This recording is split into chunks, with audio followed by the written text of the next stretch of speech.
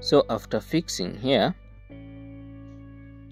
you turn the machine around like this. Then again now you have to align your tubes with the bottom part with the upper chamber. So after inserting the tubes like this make sure they are firmly well placed. And you have to make sure also the cable from the upwards to the bottom is well connected so that uh, the current can flow well.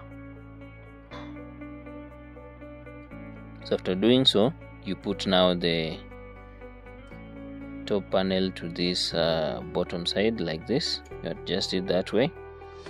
You have to make sure it has entered correctly so as to fit firmly and uh, to make sure it's firm use the screws. You do that way.